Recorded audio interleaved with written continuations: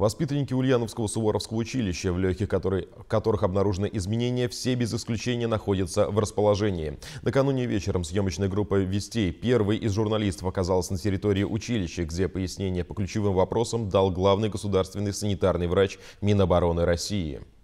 По итогам обследования было установлено, что изменения в легких присутствуют у 26 э, воспитанников – Кроме всего прочего, было э, принято решение о дополнительных исследованиях, таких инструментальных исследованиях, таких как э, ультразвуковое исследование, компьютерная томография. Те э, воспитанники, у которых э, выставлен диагноз, 26 человек, о которых я говорил, э, получают полностью лечение. Лечение амбулаторное, госпитализация не требуется, поскольку заболевания не передаются от человека к человеку, они не контагиозны. Находятся в расположении, также ходят на занятия, в общем, ведут обычный образ э, суворовской жизни.